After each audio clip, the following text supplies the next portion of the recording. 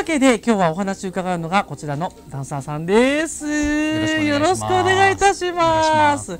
ということでねあのいろんなダンサーさんのお話聞いてるんですけどももうどなたにお話を聞いたらいいですかねって聞くと皆さんやっちゃんやっちゃんやっちゃん先生とおっしゃるんですよ。はい。うんということでお話をね伺いたいなと思うんですけども、まあやっちゃん先生と呼ばせてください。はい。はい。やっちゃん先生は、まあ、この清里フィールドバレー今年で32年目になりますけども、なんと初年度から。はい初年度からいます。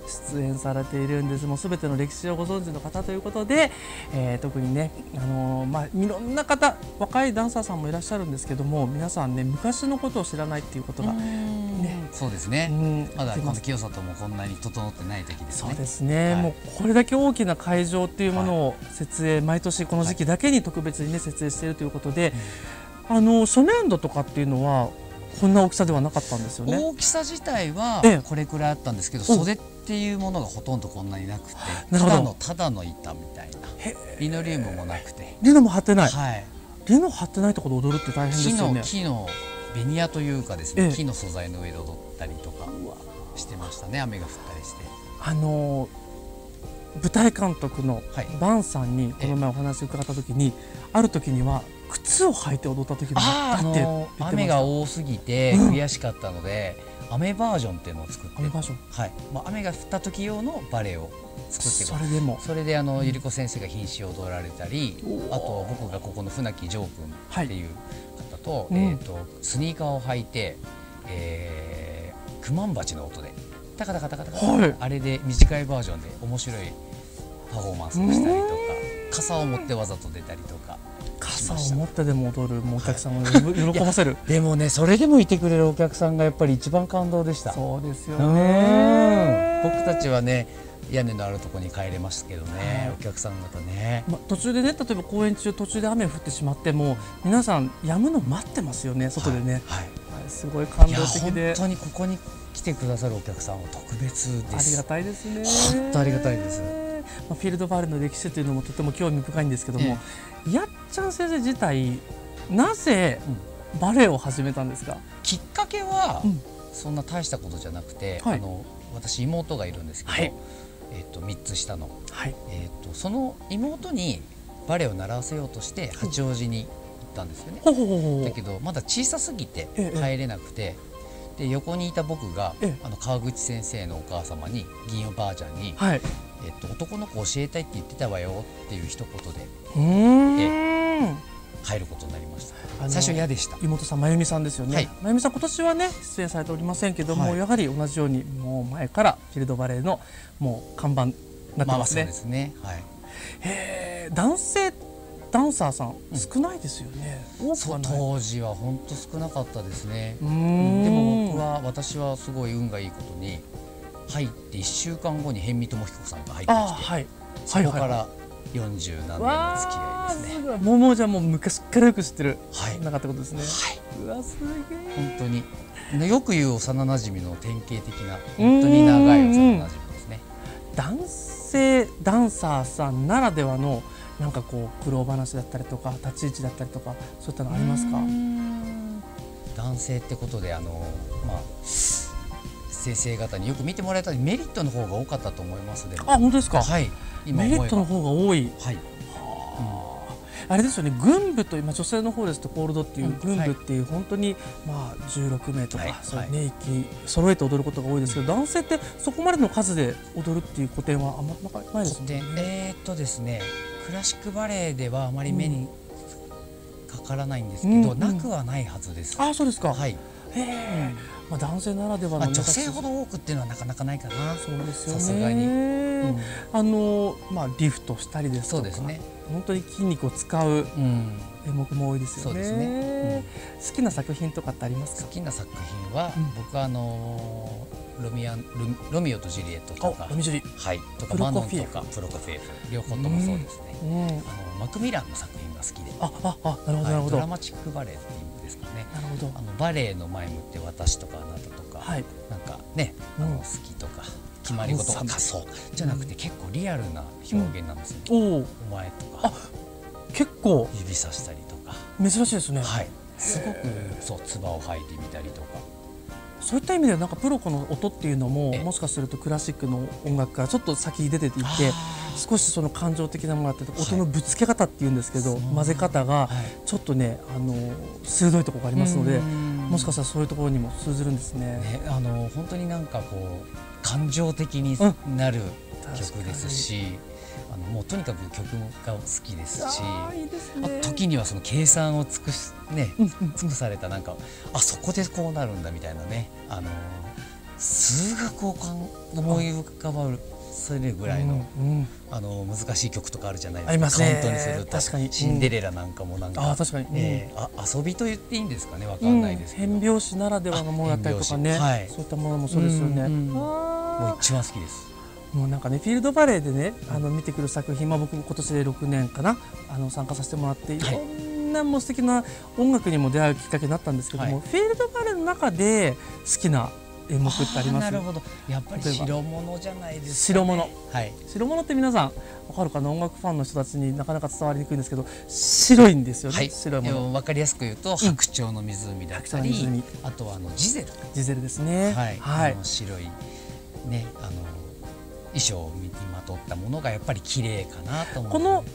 場所に合うんですよね。私のね照明とか夜空にすごく浮き出るように白い衣装がね、はい、映えるっていうことで、まあ一見例えばシンデレラっていうのもまあ結婚式のシーンなどは白が多くあるような気がしますけど、それを白物とは呼ばないんですね。そうですね。はい。他にもラッシュルフィードとかいろいろあるんですけども、要はその人間ではない、うん、あの役柄がやっぱりいいんじゃないですかね。こうちょっと妖精だったりとかねね。お化けだったり。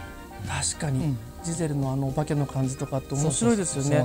これ野外だからななおさらあのすごく映えるんですけどジゼルとかってあの火の玉を飛ばすじゃないですか。あはいあの演出とかって豪快に飛ばしますもんね。そうですね。あれあの劇場でもできるんですけど、あんなに豪快にはできないですよ。ね。できないです。いろんなルールがあるっていう中で、はい、はいはいはい。消防法がありますから。だからそれこそここの花火も一つのね見も絶対そうですよ絶対に騎乗車無理ですよね。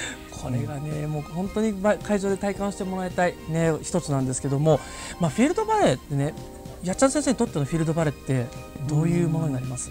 私は17から来てるので、はい、ほぼ夏は清里にしかいないというか、毎年そうですね。はい。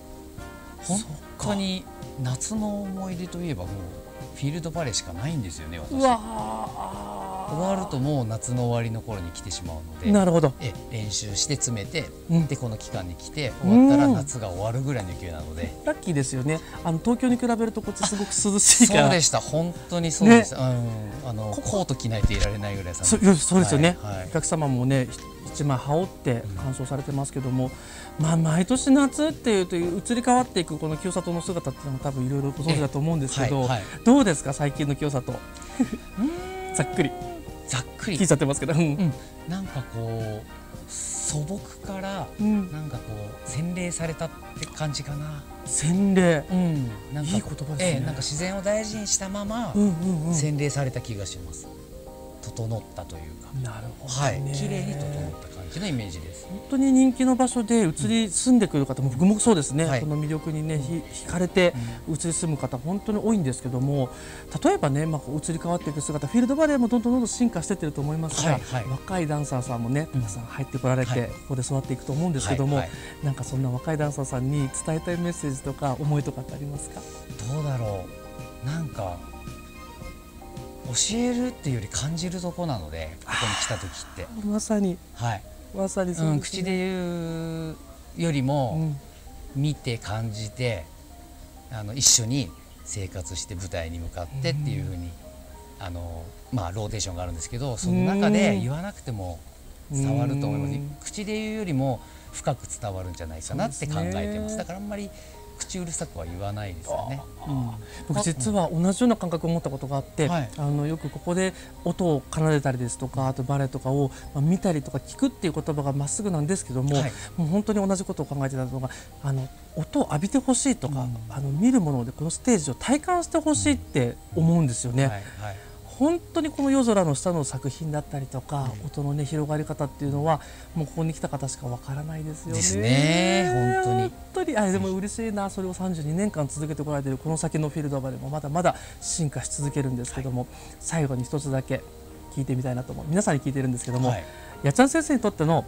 プロフェッショナルとは何でしょうか？ね難しいですね。改めて、すごくそのなんだろう。自分自身の考えとしてはやっぱりその匠といいますか追求する力とか、うん、こだわりだったり最後プライドだと思うんですけれど、はい、あの実際はそれをなりわいとしているものは プロフェッショナルだと思うんですよね。うん、それにお金がついてくるほどの価値があるか,、だそこにプライドを持って挑めるかってことなんですけども、だからあれですよねお金がもらえないって思えるような舞台をするんではなくて自信を持って、うん、お金がもらえるようなものが提供できるのがプロフェッショナルなんじゃないかなと思うんですけど、はい、もう技術とか作品を作っていくだけではなくその先のもうやはりビジネスとしての部分っていうものも意識した上で、はい、いい作品を毎度毎度残していく。はいすごいですね。もうロングランで毎日こうやってあの連日続いてますと同じ作品であの毎日同じことを繰り返していく、はい、これも難しいことですよね。はい。同じように。やっぱり、同じことをやってるんですけど、うん、生もんなんで本当にどこがどう違ったのかなっていうぐらい舞台がやっぱり変わったりするんですよね。人が変わったり同じ音で踊ってても違ったり、パートナーが変わっても変わりますし。うん本当に不思議なんですけれども同じことって思ったことあんまりないですね。いつも前より良かったとかね、はい、そういうふうに思えるってことは本当に生ものをいじってい。る、ね、扱っているんだなっていうことをいつも体感させてもらいながら僕もね6年間あの 一緒の舞台させていただいてすごい楽しいです。はい、もうねこんな風にですねもう時間を作ってなかなかこういうふうにお話しさせてもらうことって今までなかったので今年はいい年になりました。ありがとうございます。嬉しい限りで さあ今日はですねこんな風にやっちゃんにお話聞きましたけどもぜひねこの動画良かったという方はいいねボタンそしてコメントなどもお待ちしております。では皆さん次の動画でお会いしましょう。さよなら